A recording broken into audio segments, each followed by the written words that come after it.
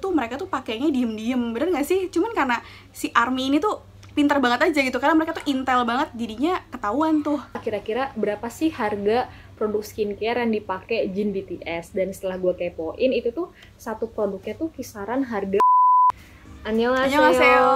Welcome to Corner Korean Center. Bareng sama gue Marisa. Dan gue Bonon. Nah, Bonon lo tau gak sih kalau idol Korea itu ternyata punya banyak banget perawatan kecantikan? Tahu, Cak. Karena selain uh, di sana cuacanya bagus, pastinya karena mereka tuh ngelakuin perawatan itu. Nah, bener banget nih Bonon. Ternyata maupun cewek atau cowok di sana tuh kayak udah lazim banget sih merawat kecantikan gitu. Jadi mereka tuh emang kayak udah biasa banget gak sih skincarean gitu? Setuju banget. Apalagi kalau misalkan produk kecantikannya tuh dipakai sama member idol K-pop atau artis Korea favorit penggemarnya gitu. Otomatis kan mereka tuh para penggemar tuh juga ikut ke influence gitu, pengen make dan penasaran sama produk yang dipakai idolanya. Hmm, apalagi sama produk-produk yang pakai BTS. Wah gila, itu sih langsung sold out banget gak sih? Mendadak langsung sold out dan pastinya para ARMY ini jadi banyak yang nyari dan pakai produk yang sama kayak BTS. Udah gitu kan ARMY tuh banyak banget kan hampir kesebar ke seluruh dunia. Nah, kalau karena itu di episode kali ini kita akan ngebahas produk-produk yang dipakai sama anggota BTS. Ih, gue mau dong. Makanya stay tune ya.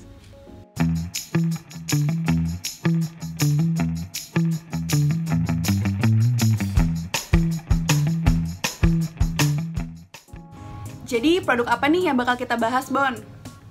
Oke, Ca. Jadi waktu di acara Melon Music Award 2019, si VBTS tuh pernah diem-diem pakai lip balm. Oh, oh mungkin dia tahu kali ya kalau apa pun yang member BTS pakai itu pasti ngaruhnya gede banget. Tapi mau walaupun di umpat-umpatin juga otomatis bakal ketahuan gak sih yang namanya ARMY gitu kayak jiwa intelnya tuh langsung tajem gitu ya gak sih? Bener banget. Dan buktinya kan udah ke spill nih sekarang. Mm-hmm. Jadi waktu di acara itu tuh CV tuh pakai produk Jepang yaitu nih Cak. Lip Fondue Mentholatum Lip Balm Aurora 3D Pearl. Oh. Okay. Nah, yang gue tahu ya, Ca, setelah dia ketahuan pakai ini, itu tuh uh, toko-toko di e-commerce tuh ngejual produk ini pakai ada embel-embel yang dipakai VBTS. Persis Wah. yang dipakai VBTS gitu. Padahal juga uh, oh ya sebelum itu juga si e-commerce e-commerce ini tuh majang foto Taehyung pas pakai produk ini. Padahal tuh sebenarnya produk ini juga nggak kelihatan. Ah iya iya emang gokil banget sih emang kalau udah urusan BTS tuh pokoknya semuanya bakalan laku banget gak sih? Tapi sebenarnya selain hype karena si VBTS ini sendiri, fungsi lip fondue ini tuh apa sih? Oke, jadi gue jelasin sedikit ya, Cak jadi si lip balm ini tuh dia punya kandungan 4 jenis serum yaitu ada minyak jojoba, terus juga ada madu, ada zaitun, dan ada royal jelly yang bikin bibir tuh jadi lembab. Udah gitu dia teksturnya juga lembut dan finishingnya tuh dia glowy plus glittery.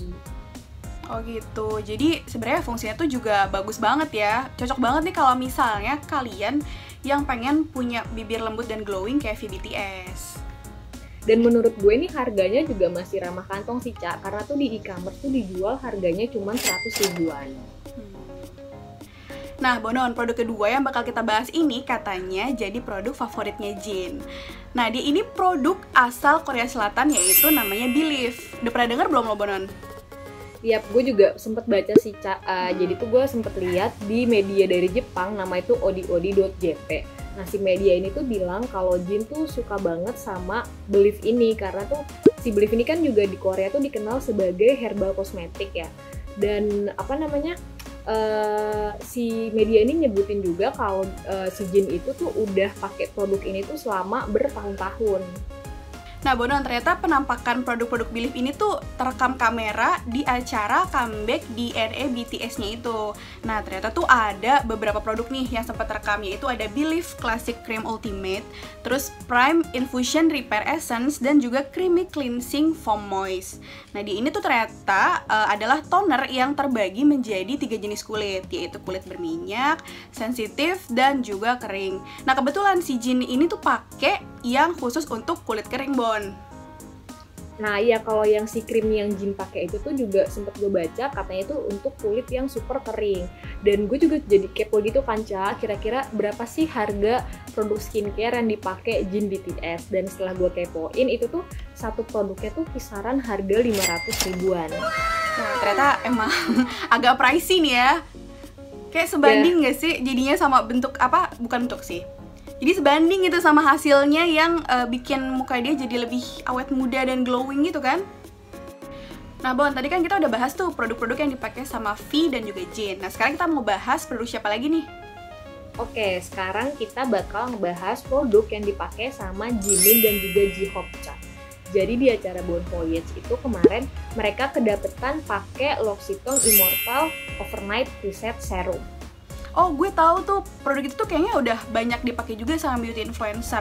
Yang gue tahu tuh produk itu tuh kalau nggak salah ya ada fungsi buat bikin kulit jadi jauh lebih seger, jadi lebih glowing dan juga eh, tentunya dia tuh punya agent yang membuat kulit itu tampak jadi jauh lebih muda. Karena katanya sih klaimnya itu dia punya semacam eh, fungsi yang membuat ekspresi gen kita itu jadi lebih nggak aktif gitu karena dia ekspresi gen ini tuh yang bikin kita eh, mudah mengalami proses penuaan bener nggak sih Oh, jadi pantes ya mereka tuh mukanya tuh awet muda dan kelihatan sehat banget.